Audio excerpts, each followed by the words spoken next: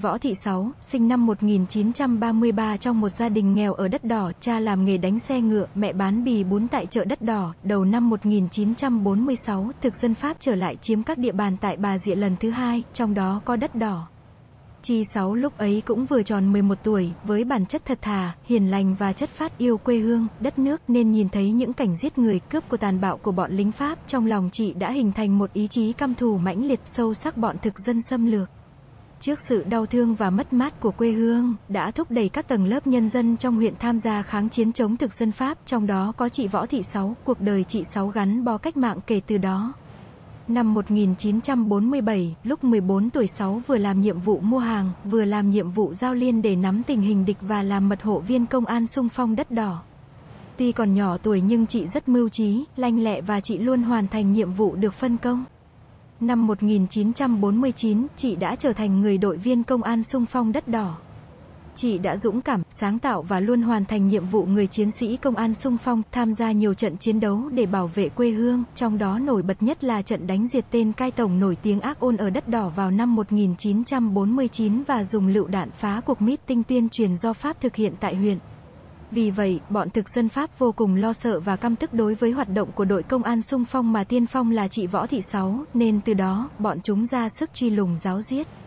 Vào tháng 12 năm 1949, trong một chuyến công tác tại đất đỏ, chị Sáu đã xa vào tay giặc hơn một tháng bị giam giữ tại nhà tù đất đỏ và khám đường bà Diệ. Địch dùng nhiều thủ đoạn tra tấn dã man nhưng chúng vẫn không lấy được một lời khai nào của chị. Sau đó bọn chúng đưa chị về giam giữ ở khám Chí Hòa.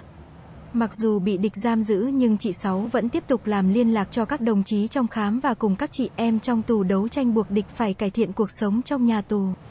Trước tinh thần đấu tranh quyết liệt và không nao núng của chị Sáu cùng những đồng chí trong tù, dù không đủ bằng chứng, nhưng thực dân Pháp cùng bọn tay sai vẫn kết án tử hình và đày chị ra côn đảo. Là người chiến sĩ kiên cường, dũng cảm, trung thành, chị Võ Thị Sáu vinh dự được Đảng ủy nhà tù côn đảo kết nạp vào Đảng Lao động Việt Nam và công nhận là đảng viên chính thức. Chị Võ Thị Sáu hy sinh vào sáng ngày 23 tháng 1 năm 1952. Khi giặc Pháp đưa chị ra xử bắn, với nét mặt ung dung, bước đi vững chắc ngẩng cao đầu, cất lên bài hát quốc tế ca, với tinh thần lạc quan cách mạng, chị đã thể hiện tinh thần bất khuất của người chiến sĩ cộng sản.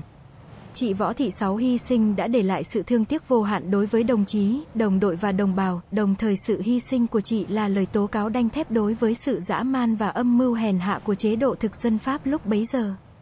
Chị Võ Thị Sáu là người từ tù đầu tiên ở Côn Đảo cũng là người nữ tù nhỏ tuổi nhất. Chị đã được nhà nước truy tặng danh hiệu ASLL Vũ trang Nhân dân vào ngày 2 tháng 8 năm 1993.